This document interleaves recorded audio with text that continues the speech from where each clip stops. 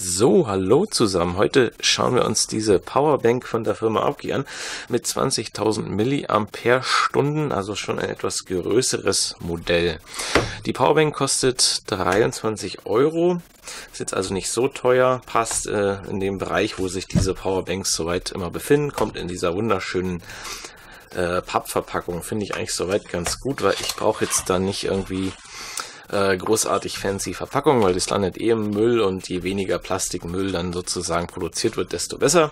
Also hier einfach äh, ein Karton und da ist dann halt ja, die Powerbank drinnen. Die tun wir jetzt mal hierher. Und neben der Powerbank haben wir jetzt hier noch äh, ein Garantiekärtchen, äh, beziehungsweise die Anleitung hier. Ähm, mit dabei ist dann hier unten drin noch ein Micro-USB-Kabel. Über die kann ich dann entweder mein Gerät laden oder eben auch die Powerbank.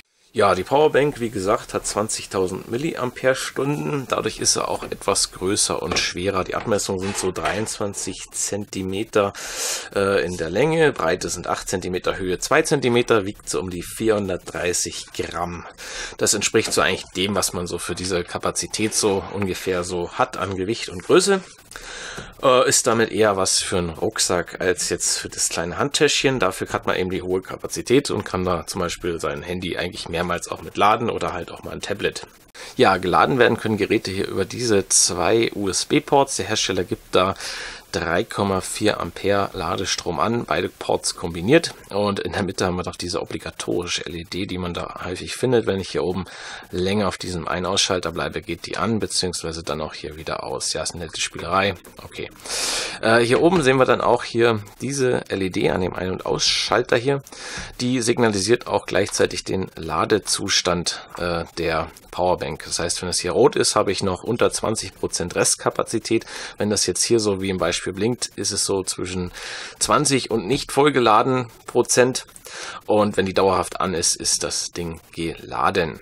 Das ist auch ein bisschen der einzige Kritikpunkt, den ich an dem Gerät habe. Das ist jetzt nicht wirklich so granular. Also ich habe das andere Powerbank, so halt so in vier, vier Einzel-LEDs zum Beispiel dann mit dabei sind, die äh, mir dann etwas genauer Auskunft geben, wie voll das Gerät ist. Ja, an der Verarbeitung gibt es eigentlich nicht so viel auszusetzen. Das Design ist ja mein klassisch Standard. Ähm, ist jetzt auch nicht so wichtig für mich jetzt zum Beispiel, was jetzt da die Powerbank, die muss jetzt nicht irgendwie so fancy-mäßig aussehen. Die muss stabil sein, das ist sie jetzt hier und einfach ihren Zweck erfüllen. Ja, zum Laden der Powerbank ähm, haben wir jetzt hier zwei Eingänge.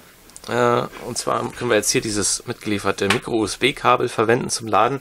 Oder, und das ist gerade für Apple-Leute interessant, wir können jetzt hier äh, so einen Lightning-Stecker halt verwenden und das dann hier einstecken.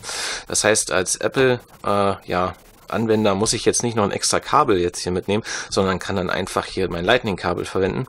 Und das ist eigentlich ganz nett. Äh, beim Laden sieht man jetzt hier, da pulsiert dann diese LED.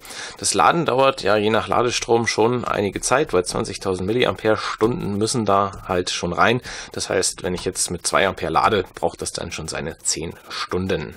Ja, machen wir noch den kurzen Ladetest. Wenn ich das jetzt hier anstecke, dann äh, lädt hier hinten mein iPhone sofort und ja, das passt soweit. Ladegeschwindigkeit äh, entspricht zu dem, was ich auch mit dem Original-Netzteil von Apple da so hinbekomme. Nicht mehr und nicht weniger.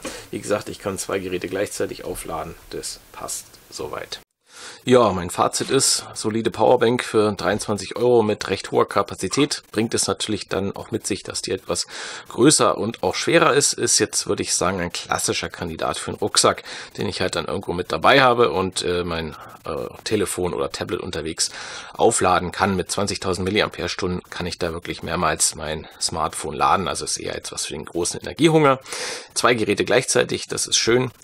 Einziger Kritikpunkt ist jetzt hier wirklich, dass ähm, hier über diese LED der Ladezustand jetzt nicht wirklich detailliert abgefragt werden kann, sondern ich sehe hier wirklich bloß grob, wie viel da noch da ist. Andere Powerbanks, die haben zum Beispiel vier LEDs, wo ich das so in 25% Schritten sehe.